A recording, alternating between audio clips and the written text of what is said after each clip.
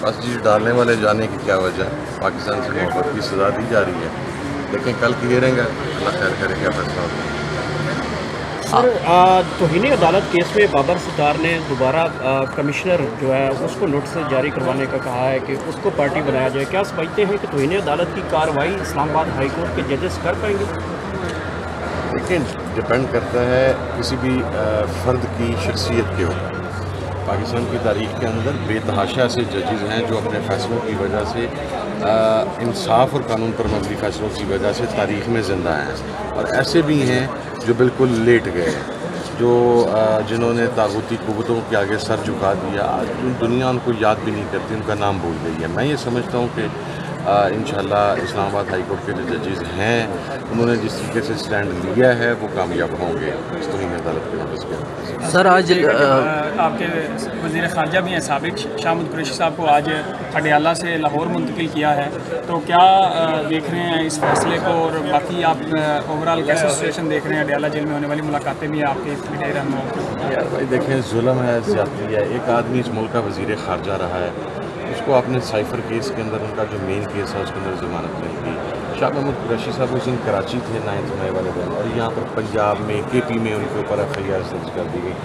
I mean मैं समझता हूँ, जिस अंधे तरीके से वहशियाना तरीके से, और जिस ब्रूटैलिटी के साथ पाकिस्तान की जो पुलिस है, पंजाब की, सिंध की स्पेशली और के पी पुलिस ने भी खैर कसर कोई नहीं छोड़ी? इन्होंने कानून का अंधाधुंध इस्तेमाल किया है it is not about Shah Mahmood Qureshi साहब और अबाउट एनी एल्स मेरा ख्याल यह कि ये सारे आईजी जो हैं, इनको नोटिस करके, इन्हें तोहन अदालत को नोटिस करनी चाहिए, इनकी सर्विस ख़त्म करनी चाहिए, इन्हें नौकरियों से उतारना चाहिए। ये कोई मज़ाक है यार कि एक आदमी, जो मुल्क का वज़ीर खारजा रहा है आपने उसे 9 मई के नौ नौ एफ़ आई के अंदर डाल दिया। एक आदमी एट ए टाइम कितनी जगहों पर मौजूद हो सकता है? दिस इज़ शेमफुल एक्ट लेकिन इन शाह साहब आ रहे हैं। एक छोटे सवाल का जवाब दे दें आपने बड़ा अपना मतलब मौका अपनाया कि हमें सड़कों पे जाना चाहिए। तहरीक इंसाफ को बड़ा जलसा नौ मई के बाद नहीं कर सके। इस्लामाबाद होने वाला जलसा भी एंड टाइम पे मुलतवी किया गया, जिसमें कारकुनान में मायूसी फैली। क्या देख रहे हैं कारकुनान की तरफ़ से मुसलसल तनकीद हो रही है? तहरीक इंसाफ की मौजूदा क्यादत पे कि ये लीडरशिप सड़कों की जलसा जुलूस की क्या सियासत नहीं कर सकती? मेरा ख्याल है ये पाकिस्तान तरीके इंसाफ की लीडरशिप ही इसके हवाले से जवाब दिया तो ज़्यादा मुनासिब है। लेकिन जो मेरे पास इंफॉर्मेशन है, मैं आपको अपनी ज़ात के अंदर कह सकता हूँ। वो यही है कि कुछ ऐसे अनासर थे जो इस जलसे में कोई तकरीबी कार्रवाई करना चाह रहे थे और उसको फिक्स करना चाह रहे थे तो उसके अंदर political committee am not the part of political committee basically और मैं तो घर उस वक्त वैसे भी सफ़र में था। हम आ रहे थे जलसागाह की तरफ़ ही तो फैसला हुआ, कैसा नहीं होगा, लेकिन एक बात मैं आपको बता देता हूँ। पाकिस्तान तरीके इंसाफ के कारकुनान की चूँकि मोहब्बत है इमरान खान साहब के साथ, उनकी कमिटमेंट है इमरान खान साहब के साथ। उनका प्रेशर है तमाम पार्लियामेंटेरियंस के ऊपर कि इमरान खान साहब को बाहर लेके आए। मैंने इसीलिए आज से दो माह पहले कहा था कि give safe time to the government और चार माह दे दें, पाँच माह दे दें इतना आपने देना है। कितना ही टाइम सेफ़ होता है टाइम मैक्सिमम छः माह होता है। उसके बाद अगर नहीं मिलता तो फिर हमें कंसिडर करना चाहिए कि ऐसी असम्बली में बैठने का कोई फ़ायदा है जहाँ पर खान जेल में बैठा और असम्बली में बैठे हो मैं अपनी बात पर आज भी कहूँगा तो अच्छा। ये मौलाना फजलरहमान और एम पी की आप बात कर रहे हैं कि इलेक्शन होने चाहिए। सर मैं मौलाना फजलरहमान साहब ने चूँकि मुजाकर की नाकामी का ज़िम्मेदार मुझे करार दिया कि मैं मुजब था कि मैंने कोई स्टेटमेंट जारी की और मैंने की मैं उसको डिनाई नहीं करता मेरे जो रेजर्वेशन है मैं आज भी उनके ऊपर कायम हूँ। लेकिन for the greater sake being a democratic person मैंने ये कहा था कि इतिहाद में छः जमातें शामिल हैं।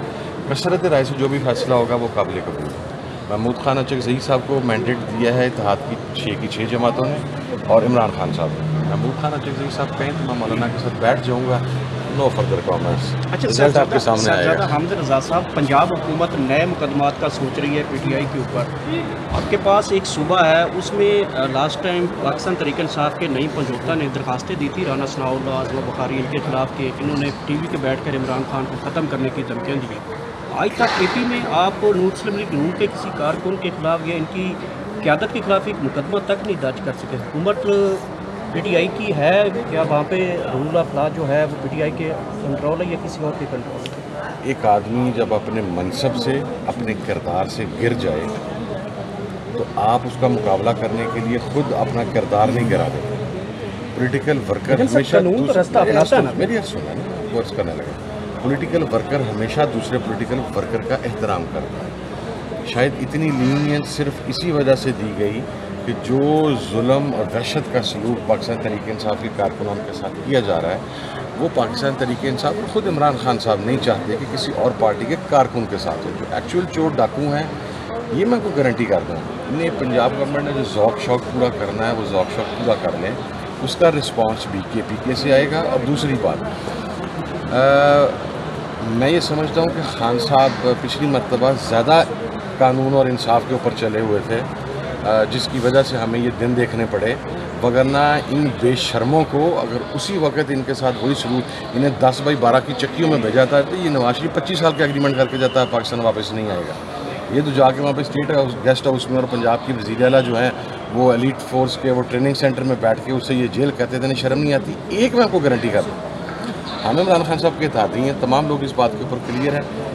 ये दस बाई बारह का सेल खान का था। इन आठ बाई दस का साल नवाज़ शरीफ का होगा शबाज शरीफ का होगा।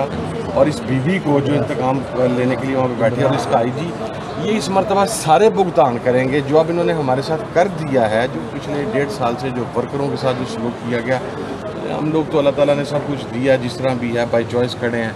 हम लोगों ने ये सारा कुछ बर्दाश्त कर लिया। लेकिन जो इन्होंने किया है, इसका खुमियाजा भुगतना पड़ेगा। अब किसी किस्म का एन आर ओ इन्हें नहीं मिलेगा। ये बात मैं आपको बता दूँ, ना आवाम की तरफ़ से मिलेगा, ना हमारी तरफ़ से मिलेगा। और अगर इमरान खान साहब इन्हें माफ़ करने की तरफ़ जाएँगे, सबसे पहले मैं दरमियान में खड़ा होकर रजिस्ट करूँगा कि खान साहब, अब इनके लिए कोई माफ़ी नहीं